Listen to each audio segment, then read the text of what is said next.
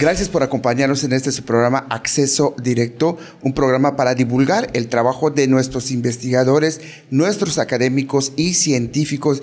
Y el día de hoy vamos a aprender sobre el cuidado que se le deben de tener a, ahora sí, a los animales de compañía. No sé si es correcto, animales de compañía. Y para eso estamos platicando con el maestro Juan Manuel Mucul Yerbes, maestro de la Facultad de Medicina Veterinaria y Zootecnia de la UADI, y acá con sus alumnos Ricardo Carballo y Adrián Baselis, que ahorita nos van a enseñar sobre esta tendencia de tener mascotas exóticas.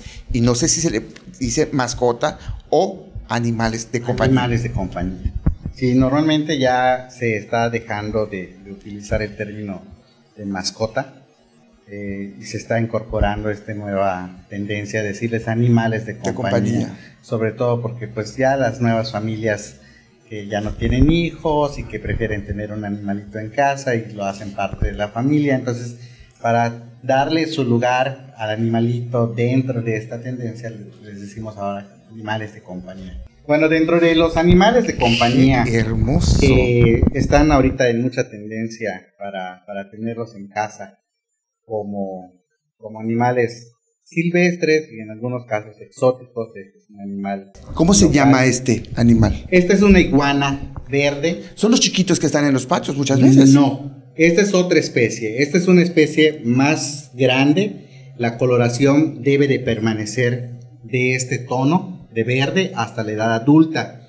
Estos son característicos de la parte del Caribe principalmente y de la costa del Pacífico. Eh, son animales que llegan a medir incluso hasta dos metros. ¡Qué bello es! Boca hasta la cola. Son muy grandes. Son muy grandes, más grandes que los que tenemos aquí. la especie que tenemos en Yucatán es la Tenosaura similis y esta es iguana iguana. Es una especie completamente diferente. Sí se parece, pero tiene algunas características que la hacen diferente. ¿A qué se debe su coloración? Bueno, los reptiles tienen en lo que es, escamas, ¿verdad? Eh, debajo de las escamas o en el tegumento, en la piel, tienen algo que se conoce como cromatóforos, que es eh, células especializadas que le dan color a la piel y a las escamas en particular. Entonces, esta tonalidad es una tonalidad bastante buena, es una tonalidad propia de la especie y mucha gente los tiene en casa y son animales que después de mucha manipulación, de ciertos cuidados y por también el hábito de tenerlos cerca y tener ese contacto directo con ellos, permiten que se puedan manipular y tenerlos como un animal. ¿De qué se alimentan? Estos animales durante toda su vida van a ir cambiando de el tipo de alimento. Cuando son crías o cuando son juveniles comen entre flores, rebrotes tiernos de hojas, en algunos casos comen insectos, comen larvas. Conforme van creciendo y la demanda energética se vuelve un poco mayor, empiezan a tener hábitos diversos. Dentro de esos hábitos diversos, incluso pueden comerse animales más pequeños, lagartijas más pequeñas, pequeños roedores, ¿sí? En algunos casos aves, ¿sí? Huevos. ¿Su reproducción cómo se da? Su reproducción es, es, se da durante todo el año, aunque hay épocas muy marcadas de reproducción.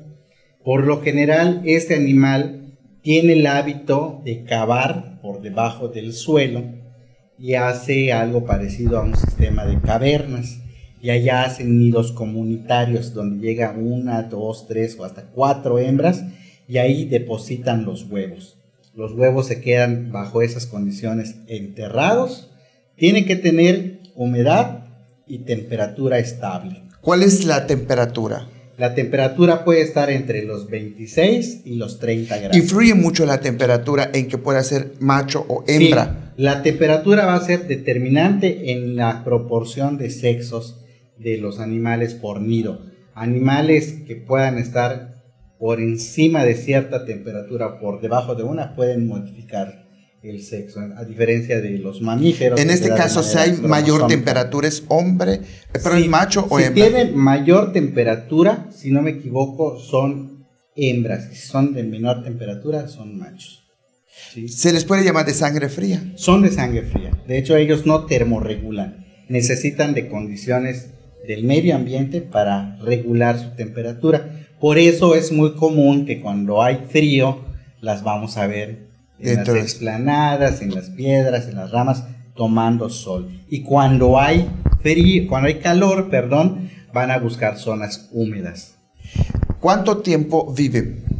Llegan a vivir hasta 10, 15 años. Todo depende mucho del cuidado que se le dé en casa. ¿Qué cuidado debe de tener?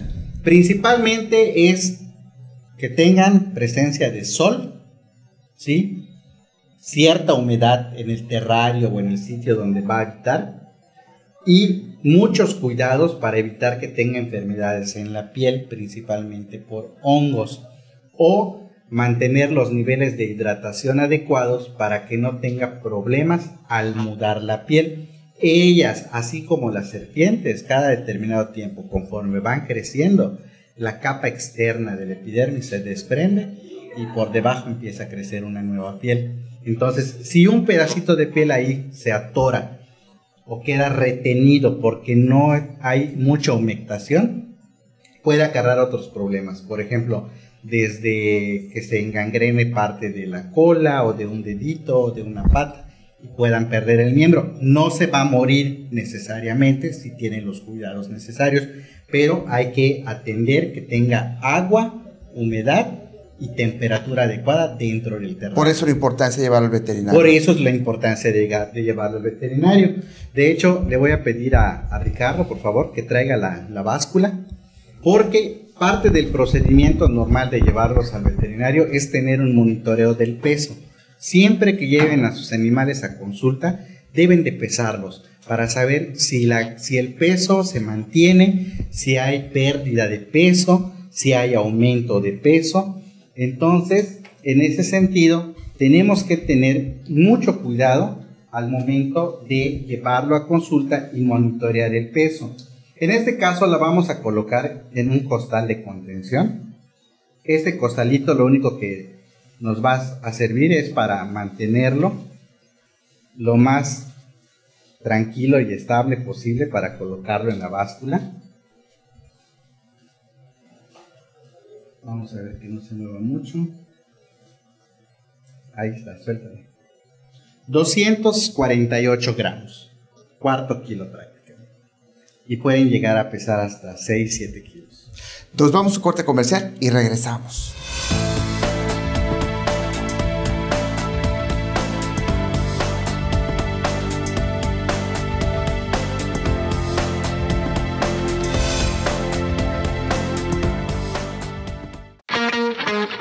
Teleplay, la señal de entretenimiento, cultura, espectáculos, noticias y más. Emitiendo desde Mérida, Yucatán. Disponible en teleplay.tv, servicio de Roku y aplicación gratuita para Apple y Android. Ahora también presente en las ciudades de Tizimín y Valladolid a través de sistema de cable. En Quintana Roo, la señal de Teleplay está disponible en Cozumel a través de cable de Cozumel y en Playa del Carmen a través de cable Riviera Maya. Esto es Teleplay.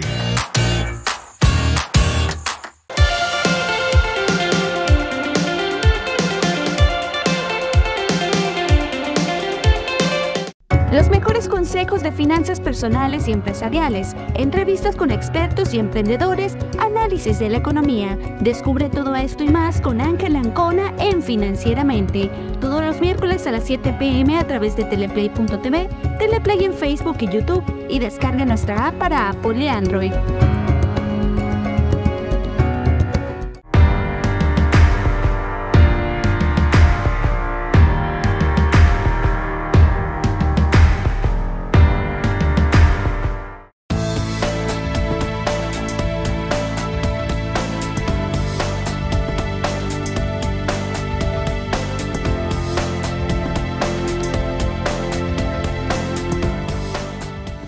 Gracias por acompañarnos en este nuestro programa Acceso Directo y estamos con el maestro José Manuel Mucul Yerbes, maestro de aquí de la Facultad de Medicina Veterinaria y Zootecnia de la con Ricardo Carballo y Adrián Bacelis.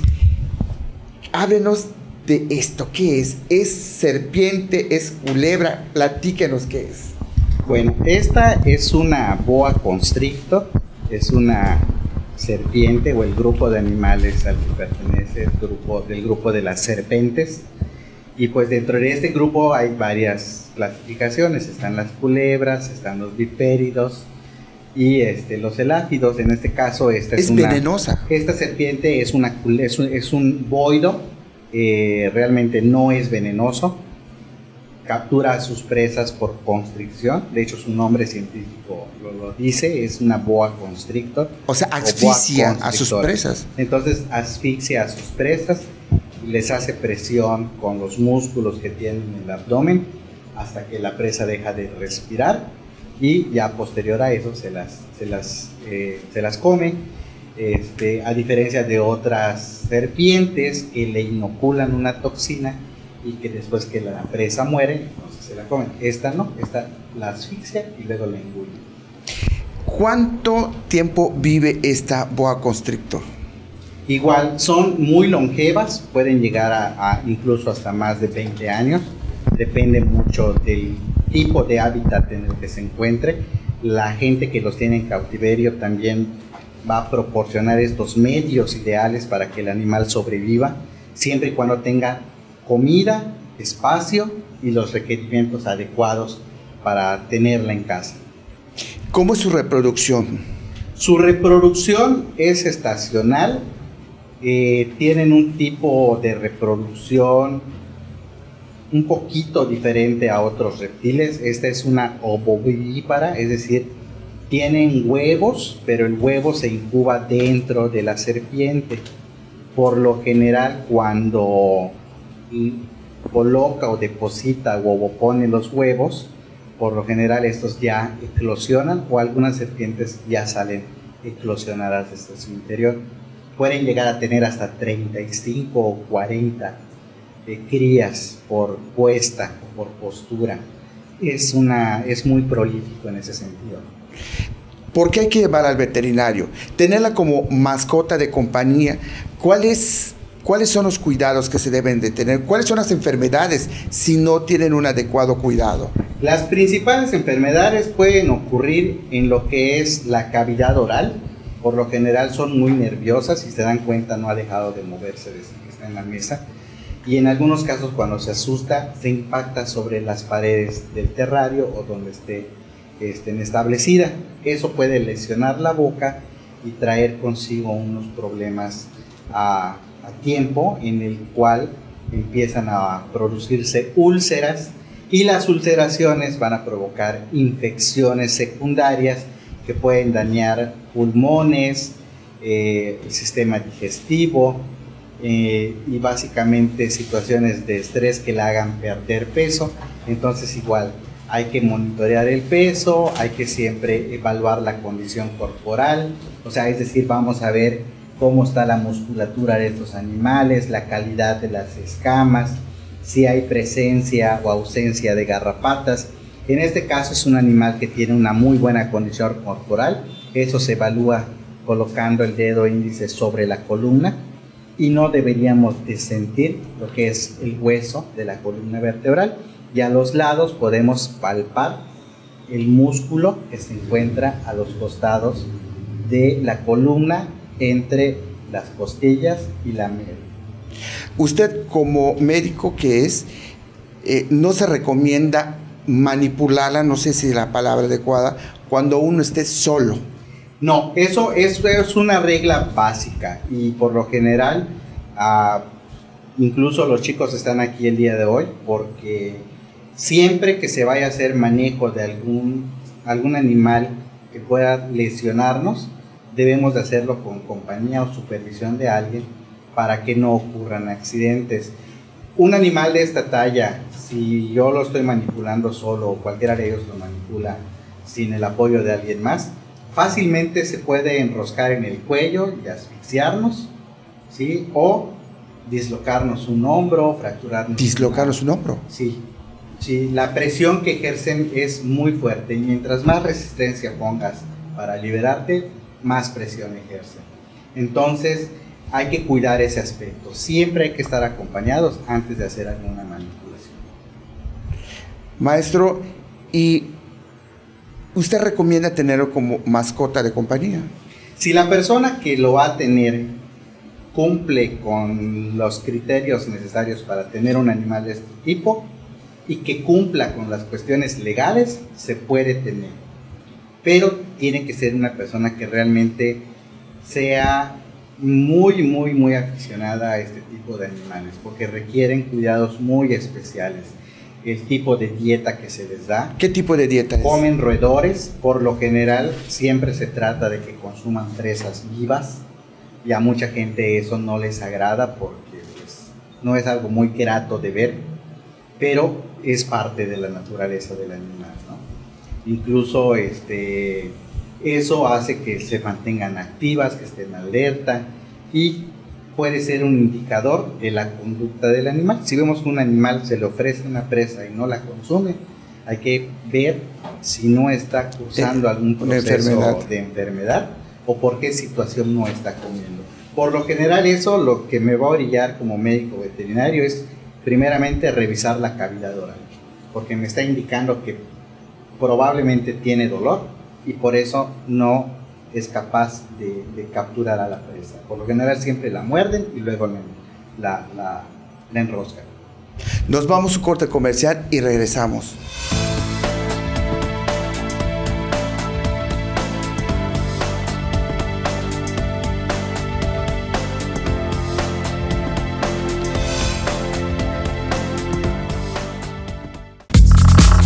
No te puedes perder cada semana lo mejor de las redes sociales.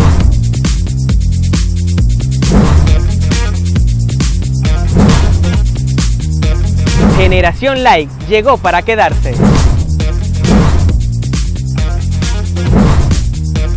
Y si tienes un talento y te quieres hacer viral, escríbenos en nuestras redes sociales. Generación Like.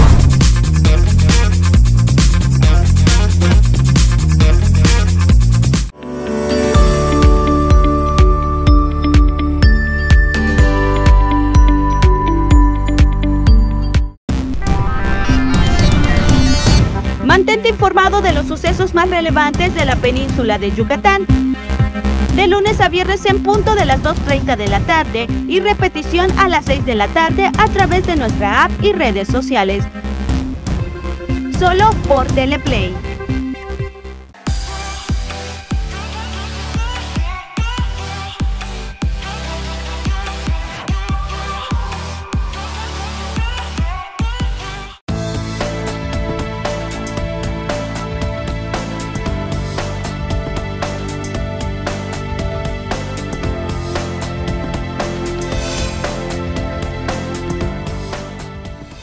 Gracias por continuar con nosotros y estamos platicando ahora sí sobre los reptiles y aquí tengo al maestro José Manuel Mucul Yerbes, igual está Ricardo Carballo, Adrián Baselis y Daniel Rodríguez.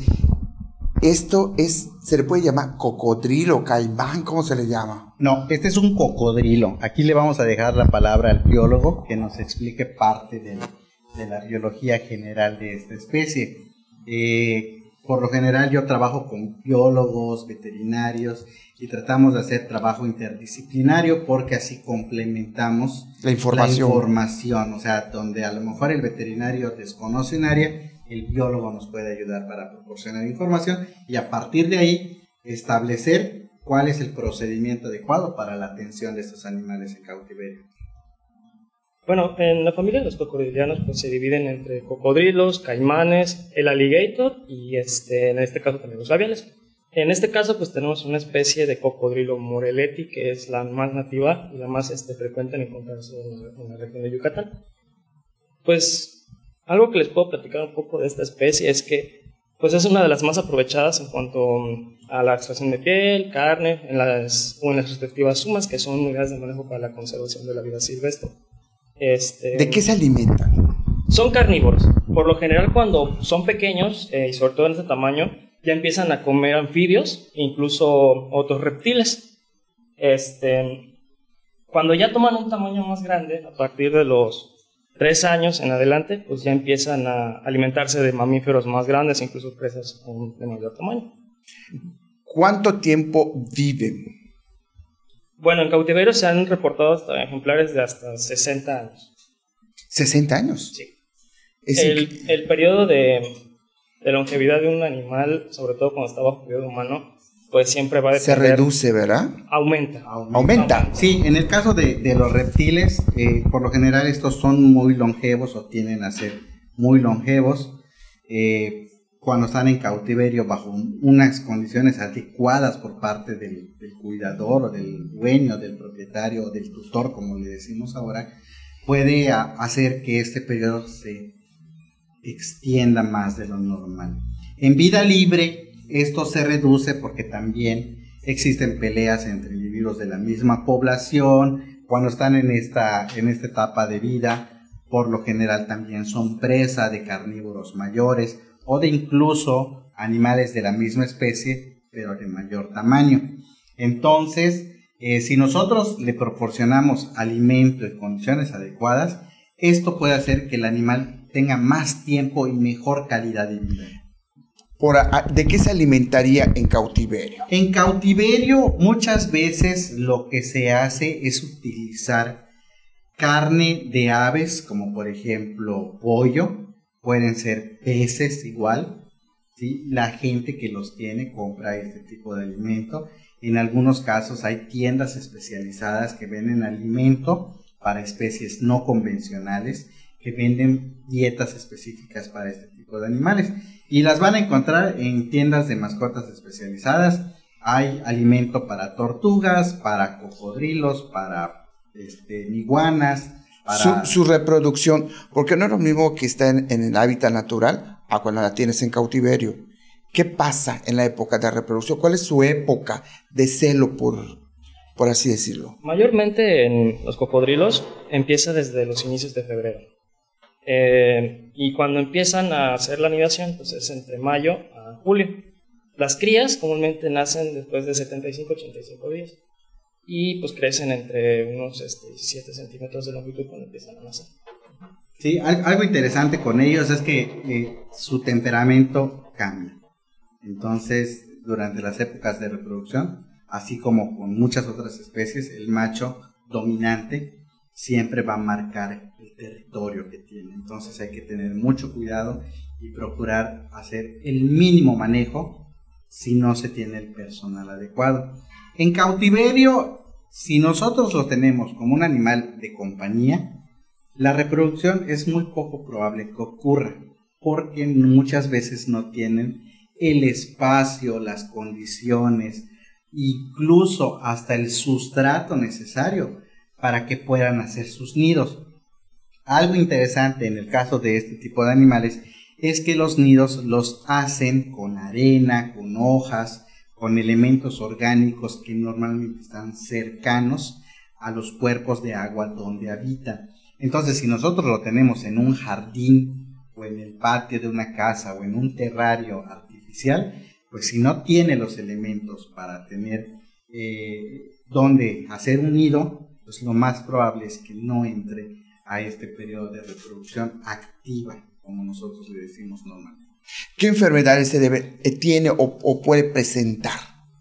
Bueno, en el caso de los cocodrilos pueden ser susceptibles a parásitos intestinales o gastrointestinales, hemoparásitos, es decir, parásitos que viven en la sangre y se alimentan de los glóbulos de la sangre, también a ectoparásitos, garrapatas, ¿sí? Muchas veces en casa si hay perros o hay animales cercanos ahí, pueden infestarse por garrapatas. Entonces sería lo, principal que habría que atender, más los cuidados generales, ¿no? Revisar la piel, integridad de las escamas, ver que los ojos no estén hundidos, que no hayan lesiones. Muchas veces los dientes se les rompen, hay que ver que no hay incrustaciones de los dientes. Entonces sí hay que hacer un procedimiento más exhaustivo complementario con algunas pruebas específicas, como por ejemplo... O sea, me imagino que hay que dormirlos para ver cómo está la dentadura. Exactamente. A veces se puede hacer lo que, lo que se conoce como una sedación o a veces una inmovilización física. Pero eso sí, obviamente se requiere más equipo, más personas y material especializado para la especie. Por eso es importante, si lo tienes como mascota de compañía, no mascota, animal de, compañía, llevarlos al veterinario. Sí, aquí lo ideal es que por cualquier animal que tengamos, siempre antes de hacer cualquier tipo de manejo se le consulta al veterinario y de preferencia que sea un veterinario especializado o que por lo menos tenga nociones del manejo de especies no convencionales, ¿no? Porque el comportamiento, la anatomía, y todo lo que es en sí, cómo funciona el organismo, es muy diferente al de un perro o el de un gato. Gracias, maestro. Y de verdad, gracias por acompañarnos porque nunca terminamos de aprender.